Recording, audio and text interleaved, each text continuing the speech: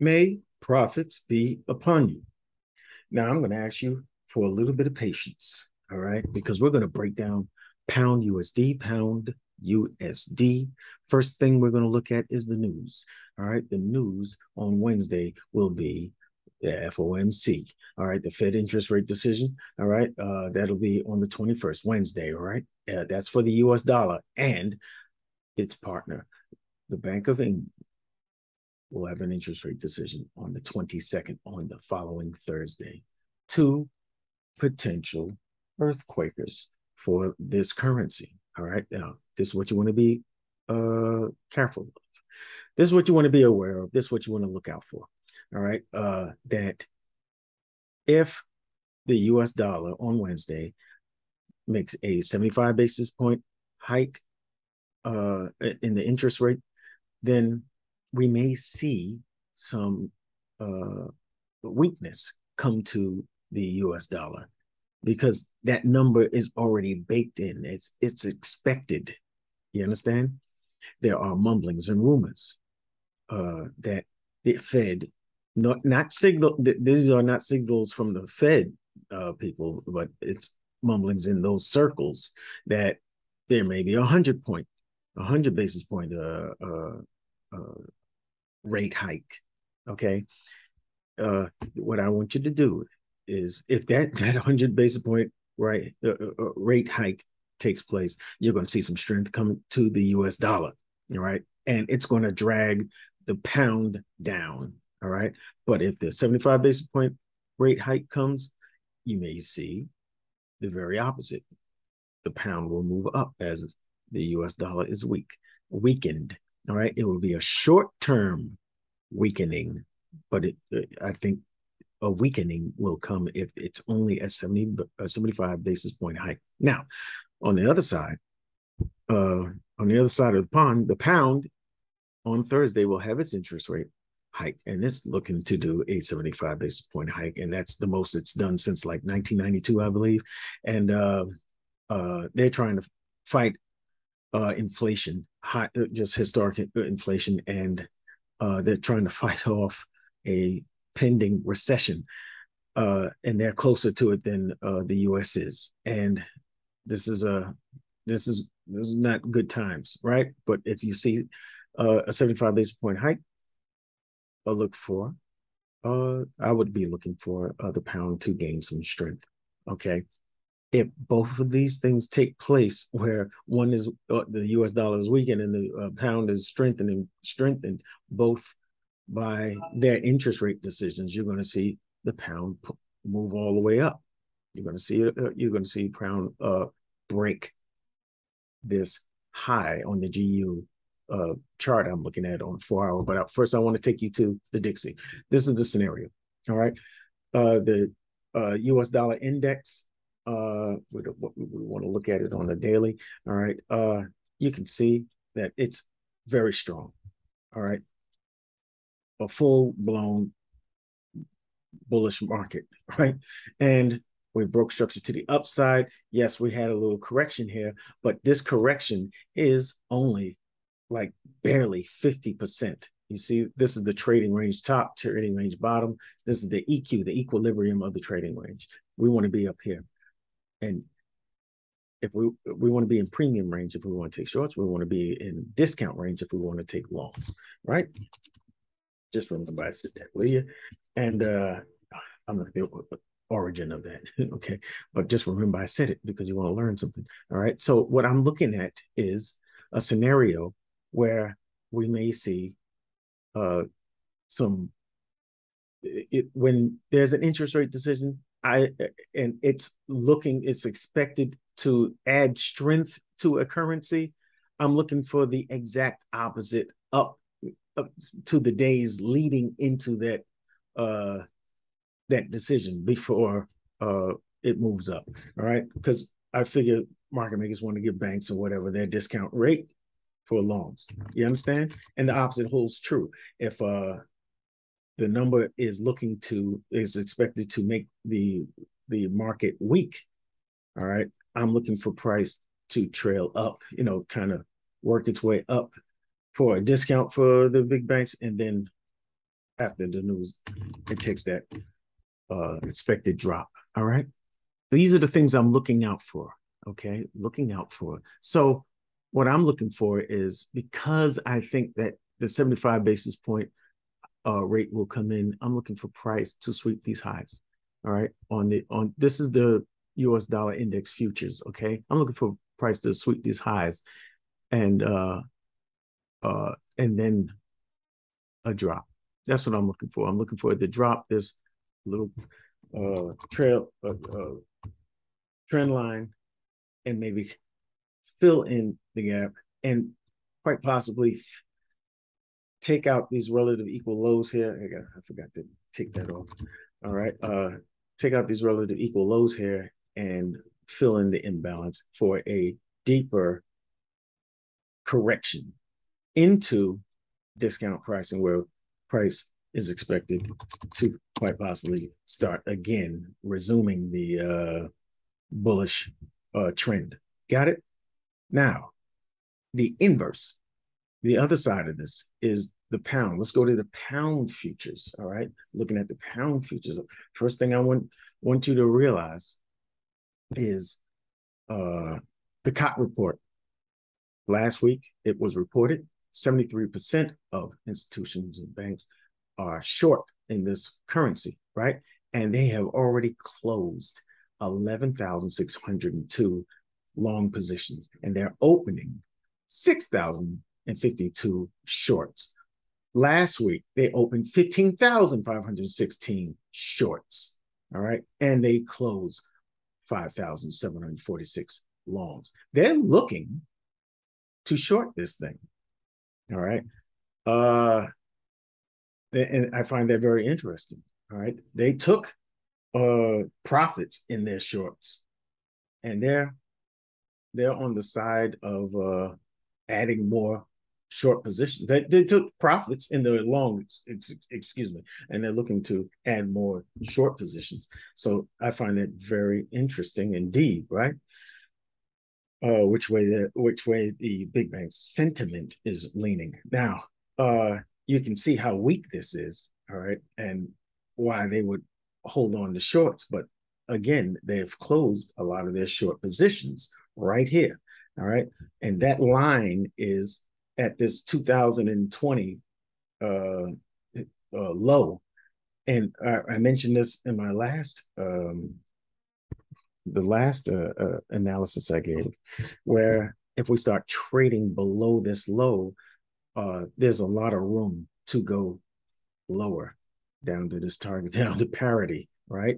Uh, so there, it, it, it, this is this is a scary area. So the interest rate decisions are going to be very, very important to be aware of. All right, now let's take a look at the actual currency itself. Okay. What I want you to see is first of all, let me let me take you out. Oh, I'm going to take you over here. I want you to see the monthly view. We're going to do some quick top-down analysis. All right. You see the monthly down here? This is a monthly demand zone, right? I just want you to see how well formed it is, right? Boom. Single candle pivot, nice bullish, very strong bullish engulfer. And here we are over here. We're below that 2020 low.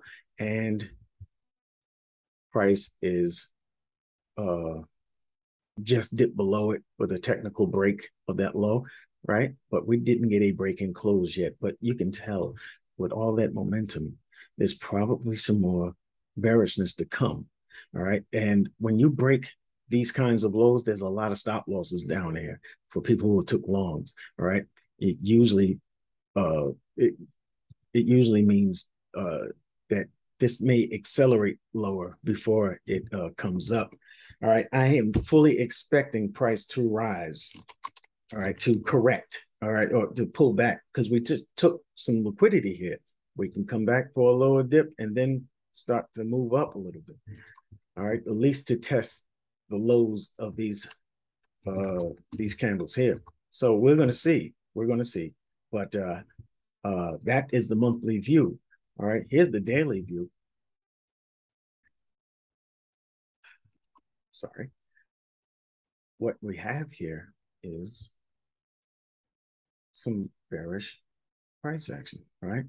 And here's a, a nice pullback here. This is a pullback that I would regard as, you know, valid, you know, for a lower high to be made in this leg of structure. This, oh, actually, this is actually four hour uh, uh, structure, I, I, I would say, and we'll take a look at the four hour.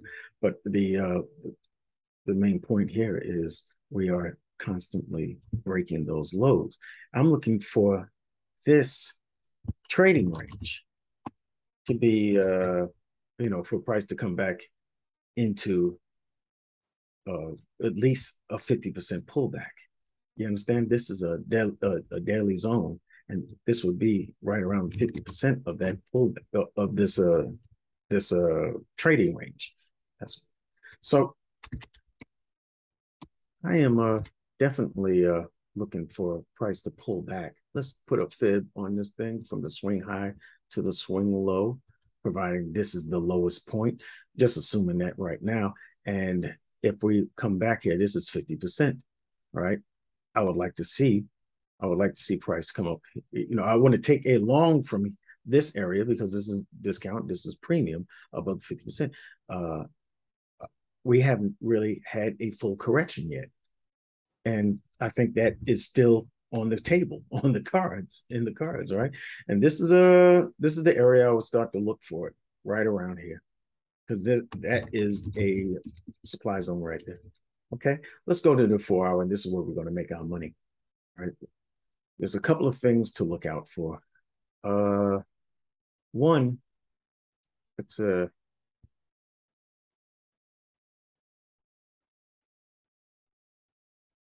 we have here, come on, man. we have here a situation. Matter of fact, let's let's look at the daily as I have it marked up. All right.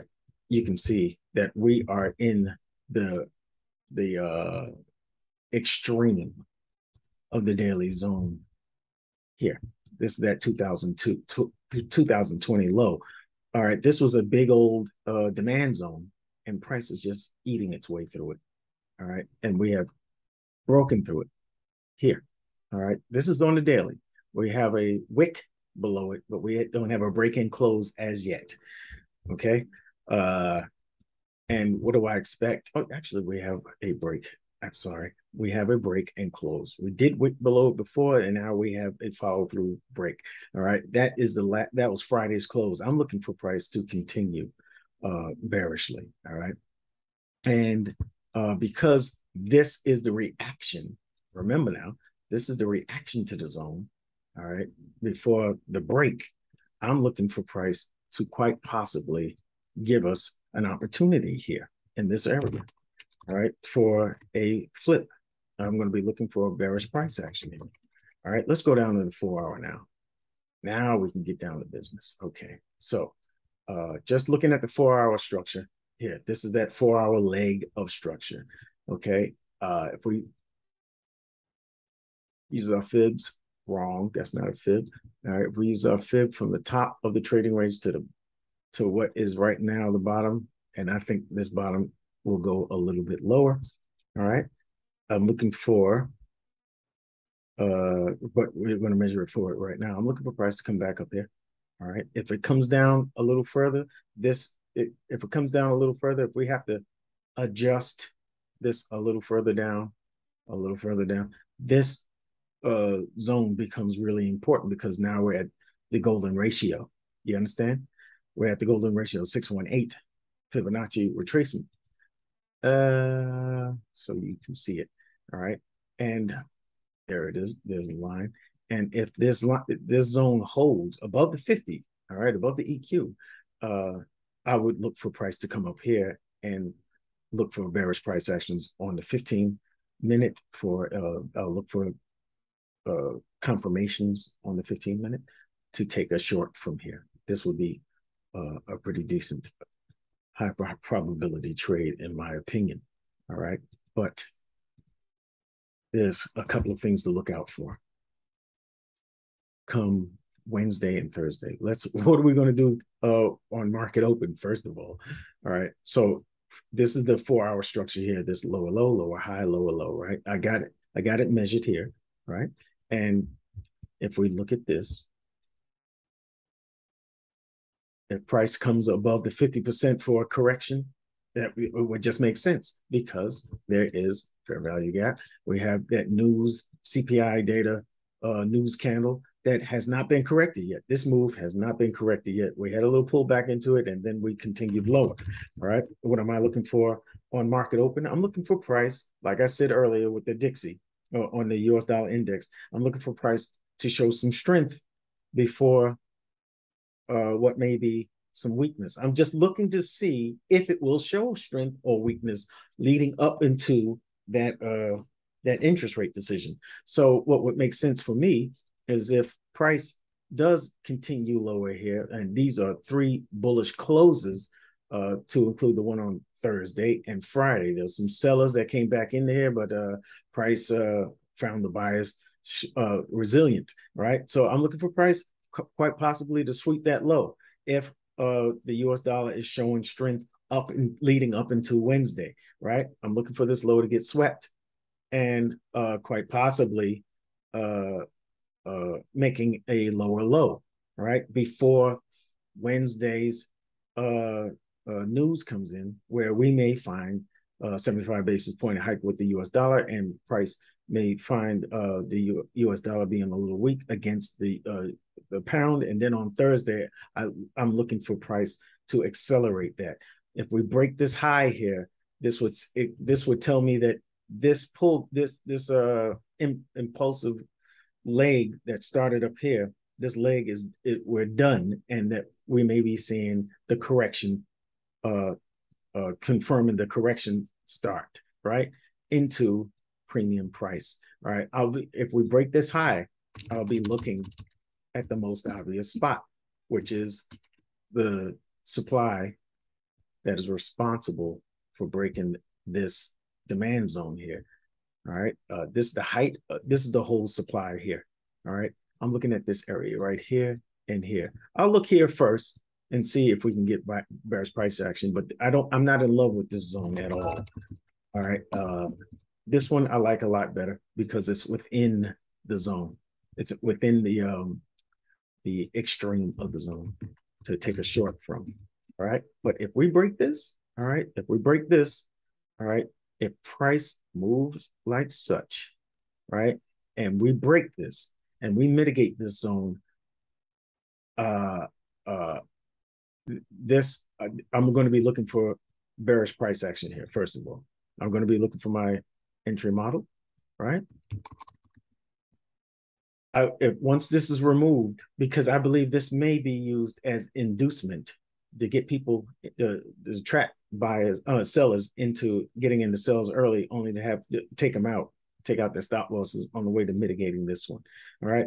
I want to see if this one holds. I want to see if we can get confirmations on 15 minute for that for the sells. If it doesn't, all right, I'm looking for this to be eliminated. All right, with uh some bullish price action after the uh uh interest rates. All right, we get a pullback and then a break. I'm looking for price to return to take a high probability trade up here, all right, to re rebalance that which is imbalanced and maybe mitigate here. I'm not in love with this zone at all either. All right, let me let me be let me be uh, as frank with you as possible. all right, because this zone has um, similar to the uh, the euro. All right, there's a relative equal uh, highs up here that could be used as inducement to come and mitigate this higher zone. If we come all the way up here, right, and then we get bearish price action, it, it, this would be a very high probability trade, in my opinion, to take uh, to take a short, and it does not disturb the overall downtrend of this market because this area is only at the 50% of this trading range that I measured on the uh, higher time frame. Right? Uh, if I can just get that last line in. Okay. All right. This will be right around 50%. And this is where I will be looking for, like I pointed out on the daily, for a uh, a continuation of the bearish trend. So those are my scenarios. If you have a question, if I, I, I hope I didn't confuse you, but if you have a question, uh, do make sure you leave it in the comment section. I'm going to do have a wait and see kind of approach to this. All right. I need price to prove what it's going to do first. All right. If we see it dribbling down, uh, I'm looking for the sweep or at least a, a mitigation low into this uh, demand zone here. And I'll be looking for 15 minute confirmations uh, to take the trade up because I want to see it break that line there to confirm that this uh, down move is over and that we're going to start up. Once it breaks this that dotted line there, that is a four hour change of character. And uh, I would, as soon as it breaks that line, I'm going to be waiting down here to uh for the pullback so we can go up higher. All right. Uh that's my plan. All right. If uh uh I'm looking for a pro trend trade, really. All right. And we it's time for a pullback, I think. All right. Uh, we could go a little bit lower and then we're going to get a, a strong pullback. And this is only a near term correction. And if we break this zone here, I'm definitely looking for the flip to take it up to here. All right. And then I'll look for bearish price action there if I don't get it because I don't really trust this zone because it was created by the CPI CPI data. And sometimes news news candles that create zones, uh, they're like mirages and price just goes through them like uh, it's not there. Sometimes they work. So you got to watch how price reacts once it gets up there. All right. That's it. I gave you enough. I'm sure. Uh, I will see you in the next video, and I appreciate you watching. Make sure you play the uh, the September 17th through the, through the 23rd playlist of uh, all the uh, analysis I put out yesterday and today. Okay, I'll see you later.